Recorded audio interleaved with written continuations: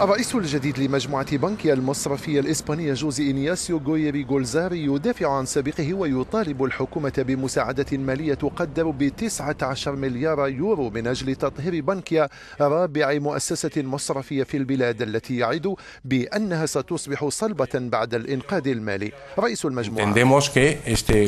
نحن نعتبر أن هذه المجموعة المصرفية لن تكون بحاجة إلى رؤوس أموال إضافية ومن الآن فصاعدا ستكون كيانا ماليا صلبا وإذا إذا أخذنا في الحسبان ودائع الزبائن يمكننا أن نكون متفائلين وواثقين من أنفسنا لأنني لو لم أكن كذلك لما وجدتموني في هذه القاعة.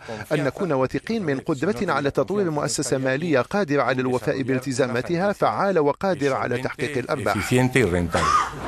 أمام الاتهامات التي وجهت لسابقه على رأس مجموعة بونكيا رودريغو راتو حذر جوزي إنياسيو غويري جولزاري من الأحكام الجزافية ودعا إلى توخي الحذر مشددا على أن راتو كان يواجه أزمة شديدة التعقيد.